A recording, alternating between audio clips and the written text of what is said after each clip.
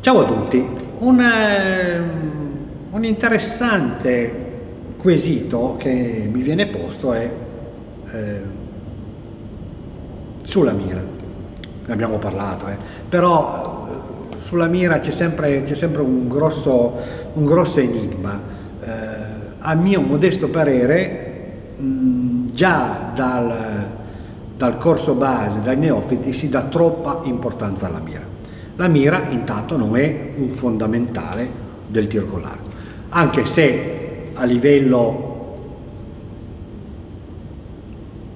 più che altro leggendario, più che altro eh, popolare, e eh, sembra che la mira sia la cosa più importante nel tiro con l'arco ma non è un carattere fondamentale. I caratteri fondamentali del l'arco sono equilibrio statico, equilibrio dinamico, allineamenti, contatti, eh, ritmo, decisione. La mira non è altro che un passaggio eh, di, tra questi fondamentali, mm, ovviamente verso la fine, dopo l'ancoraggio, durante eh, l'espansione, durante eh, la, eh, l'acquisizione eh, con i muscoli dorsali di un buon equilibrio dinamico, quindi una buona spinta e trazione sul piano verticale, di una buona spinta e trazione verticale, avviene, accade, accade. La mira deve accadere.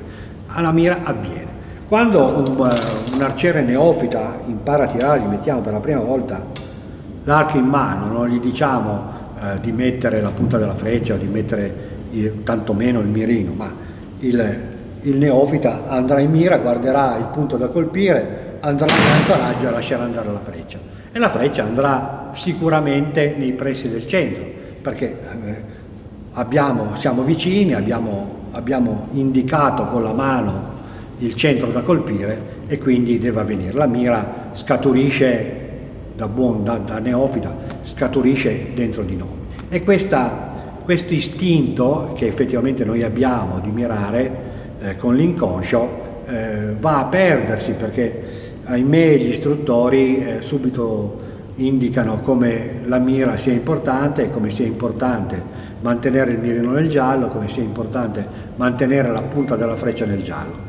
E questo, ahimè, eh, porta a disgregarsi un po' quello che è, eh, secondo me, una grande importanza che avverrà dopo, una volta che io ho acquisito la tecnica, eh, una volta che ho acquisito una buona tecnica, la mira non mi deve portare via quella, quella consapevolezza, quegli automatismi che eh, faranno di me eh, delle grandi performance. Quindi cosa consiglio, cosa consiglio io? Io consiglio di eh, avere un approccio alla mira molto più eh, easy, molto più semplice. Quindi noi guardiamo il centro del bersaglio ma ci confrontiamo molto di più con noi stessi. Quando noi guidiamo, eh, abbiamo preso la patente, tutto ci sembra difficile, ma poi con l'andare del tempo, se non continuiamo a guardare dove mettiamo le ruote con l'andare del tempo, ma guarderemo 100 metri avanti le ruote andranno per conto loro, il volante verrà manovrato in modo fluido.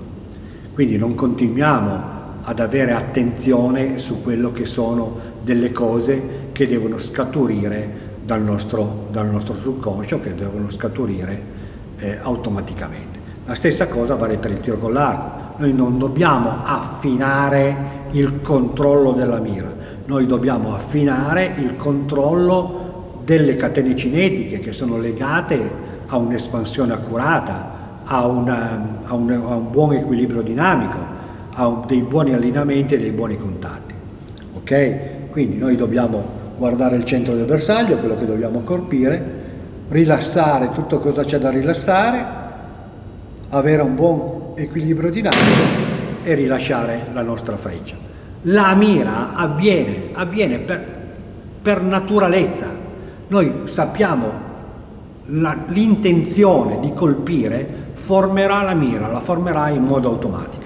Non ci preoccupiamo di questo, impegniamoci a, ad avere una buona tecnica di tiro, un buon allineamento. Non possiamo continuamente tirare in questo modo, non allineati, in questo modo qua. Non possiamo tirare, non possiamo tirare in questo modo.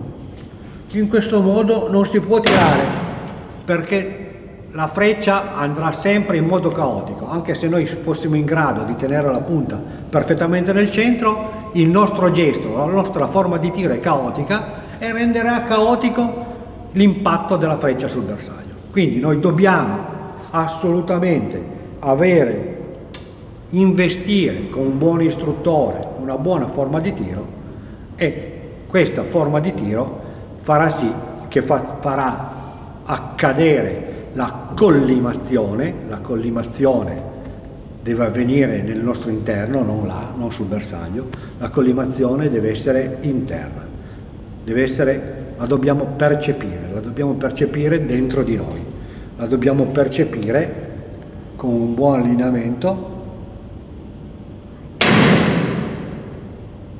e la freccia andrà perfettamente nel centro.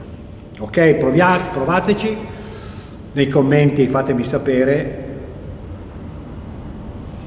se devo essere più esaustivo, ma anche su questi, su questi argomenti ovviamente ci va un buon istruttore. Ci va un buon istruttore oppure eh, bisogna partecipare a qualche seminario, a qualche corso in, nel quale si possa provare, si possa verificare eh, bene eh, tutte le situazioni che si vengono a creare durante l'approccio alla mira.